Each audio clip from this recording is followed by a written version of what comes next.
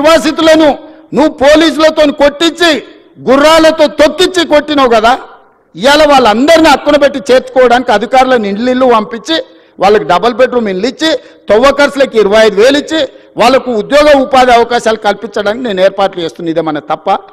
వాళ్ళ పిల్లలు వాళ్ళు మూసీలో బతికిండ్రు మురికిల్లే బతికిండ్రు మురికిల్లే చచ్చిపోయారు రేపు వాళ్ళ పిల్లలు కూడా ఆ మురికిల్లే పెరిగి మురికిల్లే చచ్చిపోయి మురికిల్లే ఉండాలి వాళ్ళు ఆ మూసీలు ఉన్న వాళ్ళకు మంచి జీవితం ఉండొద్దా? వాళ్ళ పిల్లలు చదువుకోవద్దా? వాళ్ళు బాగుపడొద్దా? వాళ్ళందరినీ బాగు చేసే బాధ్యత ప్రభుత్వం తీసుకుందామని నేను చెప్తున్నా. మూసీలో మొత్తం పదివేల కుటుంబాలు ఉన్నాయి. ఆరు నెలల నుంచి ఎనిమిరేట్ చేపించిన.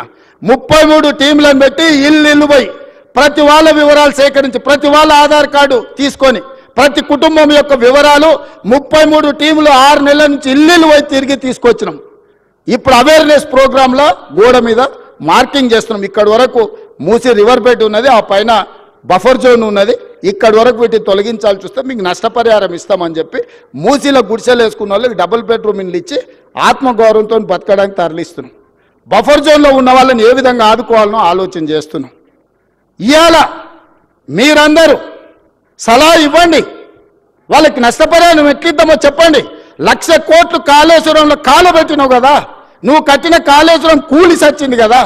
లక్ష కోట్లు ఆడ పోసినావు ఐదు పదివేల కోట్లు మూసీలో ఉన్న పేదోళ్ళకు మంచి ఇండ్లు కట్టించి మంచి పాఠశాలలు కట్టించి ఆ పిల్లలకు మంచి ప్లే గ్రౌండ్ ఇచ్చి మంచి విద్యను నేర్పిస్తే వాళ్ళు భవిష్యత్తుకి పునాదులు అవుతారు వాళ్ళ బాగు కోసం కష్టపడదాం. ఆ పనిలో మీ ఇక్కడున్న ఇంజనీర్లు భాగస్వాములు గాండి అని చెప్పి నేను మిమ్మల్ని అడుగుతున్నా. వాళ్ళు మనోళ్ళే నాకు తెలియదా? ఇరవై ఏళ్ళు నేను కూడా పబ్లిక్ లైఫ్లో ఉండొచ్చిన జిల్లా పరిషత్ మెంబర్ నుంచి ముఖ్యమంత్రి వరకు వచ్చిన. ఓసారి జడ్పీటీసీ ఓసారి ఎమ్మెల్సీ రెండు సార్లు ఎమ్మెల్యే ఓసారి ఎంపీ ఈరోజు ముఖ్యమంత్రి. ఇరవై ఏళ్ళు పేదోళ్ళ మధ్యలోనే తిరిగిన కదా ఉన్నా కదా? పేదోడి దుఃఖం నాకు తెలియదా ఇల్లు కూలితే ఎంత బాధ ఉంటుందో తెలియదా వాళ్ళందరినీ ఎట్లా ఆదుకుందామో చెప్పండి నష్టపరిహారం ఎట్లిద్దామో చెప్పండి. నువ్వు ఏడు లక్షల కోట్లు అప్పు చేసినావు. వాళ్ళ కోసం ఇంకో పదివేల కోట్లు ఎట్లయినా చేసి తీసుకొచ్చి వాళ్ళకి ఇద్దాం మీరు మింగింది ఆపితే చాలు వాళ్ళకి ఇవ్వడానికి ఏంది అందులో? వెయ్యి ఎకరాల ఫామ్ హౌస్ ఉంది.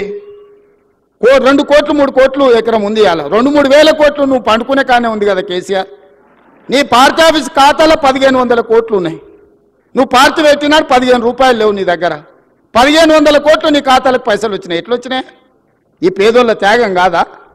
వాళ్ళ ప్రభుత్వం నుంచి ప్రభుత్వ ఖజానా నుంచి అవసరమైతే ఒక పదివేల కోట్లు ఖర్చు అయినా వాళ్ళని ఒక మంచి అపార్ట్మెంట్స్ కట్టించి గవర్నమెంట్ ల్యాండ్లో వాళ్ళకి మంచి ఒక కాలనీ కట్టించి వాళ్ళందరినీ అక్కడికి తరలించి అక్కడ ఒక హాస్పిటల్ ఒక పాఠశాల ఒక ఐటీఐ ఒక జూనియర్ కాలేజు అవసరమైతే ఒక ఇంజనీరింగ్ కాలేజ్ కట్టించి వాళ్ళకు ఒక మంచి భవిష్యత్తు ఇద్దాం సలహా ఇవ్వండి. చదువుకోలేదా? అమెరికాలో పోయి చదువు వచ్చినట్టు సన్నాసి. ఆ పిల్లలు చదువుకోనికే దారి చూపించే తెలియదా ఈటల రాజేందర్ గారు. అందులో ఇంకా ఆయనకు అంగి మారింది కానీ వాసన అయితే మారినట్టుగా అనిపిస్తలేదు. నాకు కొంచెం గౌరవం ఉండే. ఎందుకంటే ఇట్లాంటి దాంట్లో కొంచెం కలిసి వస్తాడేమని. ముందు రోజు హరీష్ కేటీఆర్ మాట్లాడితే తెల్లారి అదే జిరాక్ తీసుకొచ్చి రాజేందర్ అన్న చదువుతున్నాడు. కనీసం భాషనైనా మార్చుకో రాజేందర్ అన్న. నువ్వు అందులో ఉండొచ్చినావు అని ఇంత బానిసత్వం వాళ్ళకు చూపించాల్సిన అవసరం లేదు. ఎందుకంటే నువ్వు కష్టాలలో ఉన్నప్పుడు వాళ్ళు నిన్ను మెడలాటి దొబ్బినప్పుడు తెలంగాణ సమాజాన్ని పక్కన నించున్నది. వాళ్ళ పక్కన నించోకు దొంగల పక్కన. తెలంగాణ ప్రజల పక్కన నించో. ఇవాళ నేను ఢిల్లీకి పోతున్నారా? రేపు మోడీ దగ్గరికి పోదాం. సబర్మతి రివర్ ఫ్రంట్లో అరవై నాలుగు వేల కుటుంబాలను బయటకు పంపించిండు ఆయన. నలభై లక్షల కోట్ల రూపాయల బడ్జెట్ ఉందో పాతిక వేల కోట్ల రూపాయలు మూసీ రివర్ డెవలప్మెంట్ ఫ్రంట్కి అడుగుదాం మోడీ గారిని. ఎందుకేడు మోడీ గారు మనకు? మనం పన్ను కడతలేమా? సికింద్రాబాద్ నువ్వే గెలుస్తువి చేవెళ్ళ నువ్వే గెలుస్తువి మల్కాజ్గిరి నువ్వే గెలుస్తువి మెదక్ నువ్వే గెలుస్తువి. అన్ని మీరే గెలుస్తారు. మరి మీకు బాధ్యత లేదో? పదివేలు ఇరవై ఇరవై ఇరవై ఐదు వేల కోట్లు మోడీ దగ్గర ఇప్పించడానికే నేను ఎందుకు చెప్తున్నానంటే బాధ్యత రహితంగా కొంతమంది ఏం చేసినా తప్పు పట్టాలి కాళ్ళలో కట్టె పెట్టాలి. ఒక్కటే కార్యక్రమం. మేము ఇన్ని రోజులు దోసుకున్నాం. వీడి పైసలు పెట్టి పనిచేస్తే తెలంగాణ బాగుపడితే వాళ్ళ దోపిడీ కొట్టొచ్చినట్టు కళ్ళకు కనిపిస్తుంది. వందేళ్ళ గురించి నేను చెప్పిన. సాగర్ గురించి లేకపోతే శ్రీశైలం గురించి పదేళ్ళు వీలు కట్టినవి చెప్పిన. ఇప్పుడు ఒక పదేళ్ళు మనం చేసే నిర్మాణము రీజనల్ రింగ్ రోడ్ కానీ రేడియల్ రోడ్స్ కానీ ఫోర్త్ సిటీ కానీ మూసీ కానీ సిటీలో ఫ్లైఓవర్లు కానీ మెట్రోలు కానీ ఇవన్నీ పూర్తయితే ఈ పదేళ్ళు వాళ్ళు ఏం దోపిడీ చేసి తిన్నారో ప్రజలకు తెలుస్తుందని ఎట్టి పరిస్థితుల్లో అడ్డం పడాలి. ఆరు నూరైనా దీన్ని ముందుకు జాగనీయొద్దని అంటారు ఇక ప్రతోడు బయలుదేరుతాడు. రోజు మీరు కూడా చూసింటారు. నా మీద పోవాలి బుల్డోజర్ నా మీద పోవాలి అంటాడు. హరీష్ రావు కేటీఆర్ వీళ్ళందరూ. ఎన్ని కొనాలా మీకోసం బుల్డోజర్లు?